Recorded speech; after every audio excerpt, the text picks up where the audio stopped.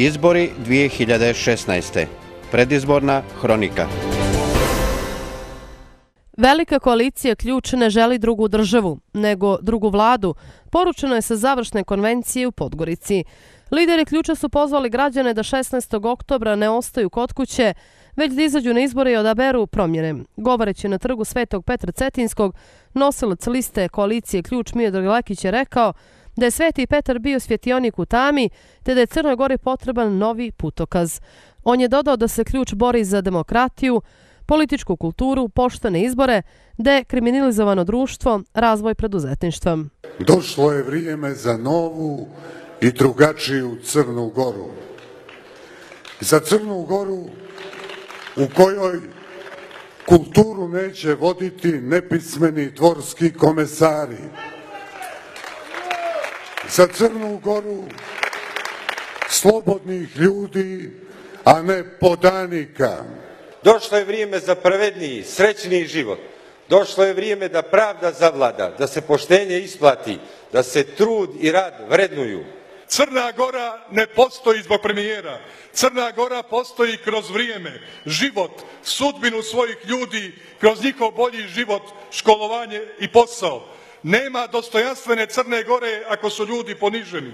Samo hrabra Crna Gora sa koalicijom ključ ima šanse.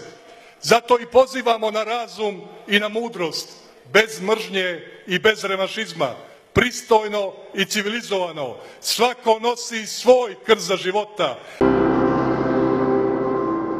Od 17. oktobra Crna Gora neće biti tajkunska država, poručuje lider demokratske Crne Gore Alekse Bečić na završnoj konvenciji te partije u Podgorici.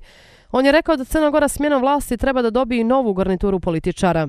Bečić je također kazao da u Crnoj Gori neće biti revanšizma, ali hoće, kako kaže, prava i pravde. Borbu protiv kriminala moramo dobiti, sistem vrijednosti moramo vratiti, mladost moramo zaposliti i od toga nećemo odustati po cijeni života, dodaje predsjednik demokrata Aleksa Bečić.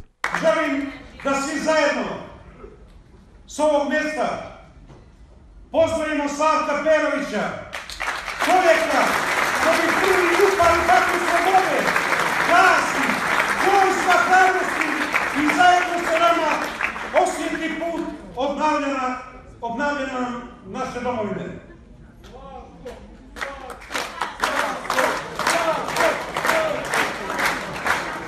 Ja i svi časni liberali smo tu da zajedno sa demokratama, mladim, obrazovanim i hrabrim uradimo ono što je naš sveti cilj.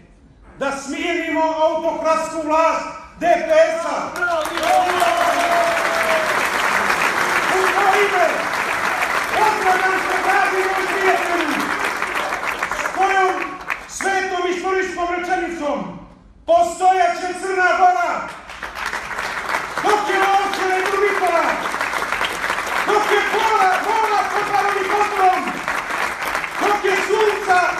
i te je. Volimo te Crna Goro!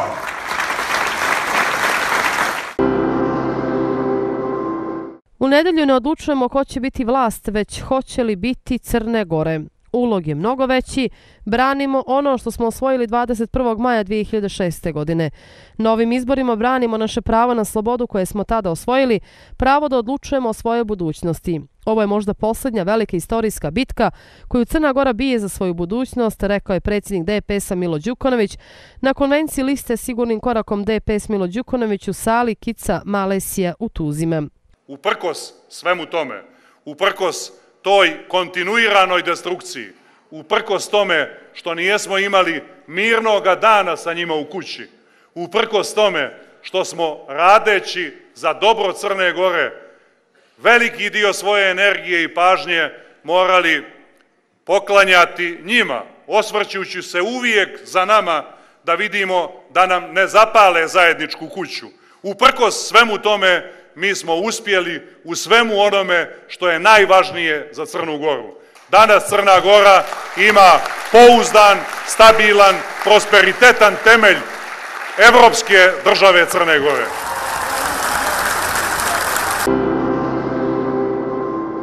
Crnogorom se širi mirni i bogati talas stvaralačke energije, talas socijaldemokrata koji funkcioniše kao jedna porodica i odnosi se s uvažavanjem prema svakom čovjeku. Poručuje na konvenciju Budvi predsjednik i nosilac liste socijaldemokrata Crne Gore Ivan Brajović. U Crnoj Gori se prepoznaju dvije moguće koalicije.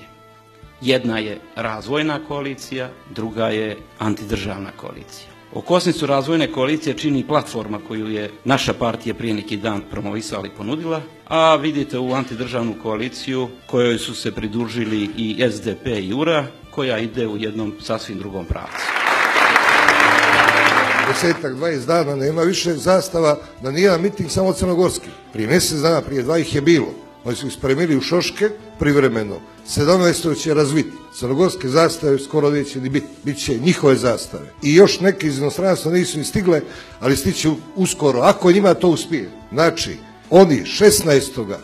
2016. ne bore se za vlast u Crnu Goru. Oni se bore da ponište Crnu Goru u naredne dvije do tri godine. Koliko je za Crnu Goru opasna antidržavna politika opozicije. Toliko može biti opasno insistiranje na pogrešnom modelu razvoja ekonomije. Mi smo zato neko ko nudi drugačiji model razvoja, ko nudi model razvoja koji će omogućiti više šansi za mlade ljude, jer ova mladost koja podržava socijaldemokrate, u stvari koja nosi socijaldemokrate, ona je snaga Crne Gore. Izbori 2016. Predizborna hronika.